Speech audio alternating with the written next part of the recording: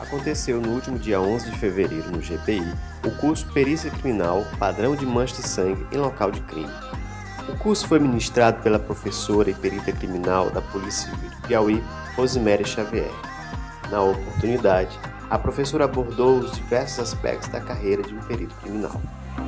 Durante o curso, os alunos puderam analisar, através de simulações realísticas, quais são os principais padrões de manchas de sangue encontrados em locais de crime.